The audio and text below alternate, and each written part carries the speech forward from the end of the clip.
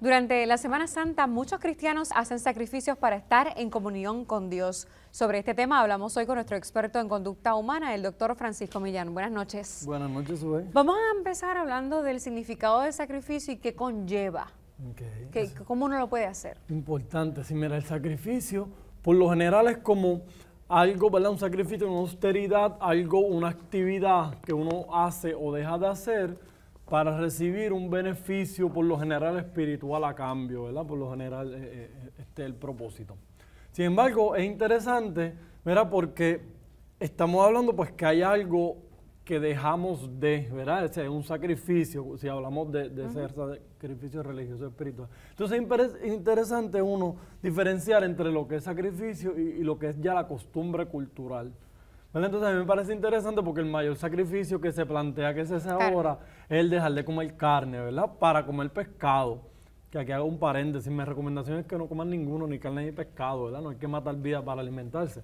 Pero dejando eso aparte, este, en este momento ya eso no es un sacrificio, de hecho es al revés.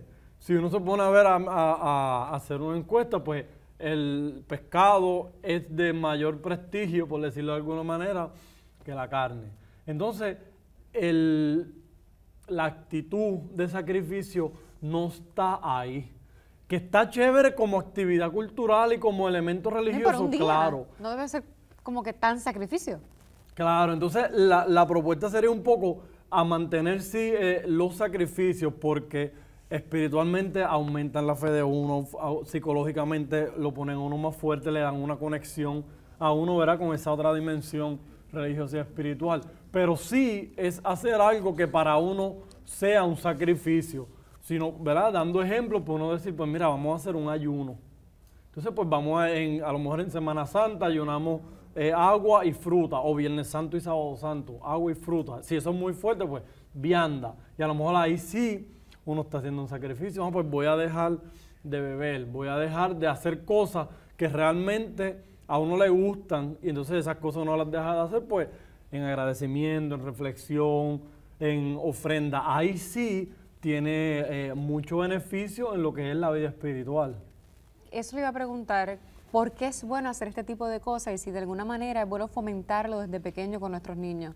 Obviamente tomando en cuenta pues, las cosas que ellos pueden hacer debido a su edad. Sí, mira, sí, aquí se habla mucho de los valores, ¿verdad? Pues esto de sacrificio incluye los valores, porque una persona que se puede sacrificar por un bien mayor, por un bien común, pues alguien que tiene que tener valores. Entonces, fíjate qué interesante, cambia el concepto individualista que nos van creando y nos van forjando desde pequeños a un concepto de yo no soy el primero, el primero es esa fuerza mayor o esa comunidad. Entonces ya desde ahí vemos que la parte de valor tiene mucho beneficio. También pues en, las, en la parte espiritual de uno y en las situaciones que uno se enfrenta en el día a día, pues uno las toma con mayor interés.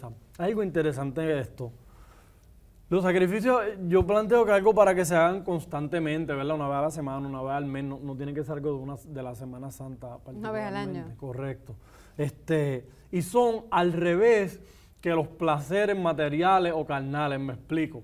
El placer material, el placer carnal empieza con un gozo, con una diversión y en muchas ocasiones termina con un malestar. El que se va, se da dos o tres cervezas, dos o tres palos y empieza con gozado y al otro día hay malestar o esa misma noche hay malestar.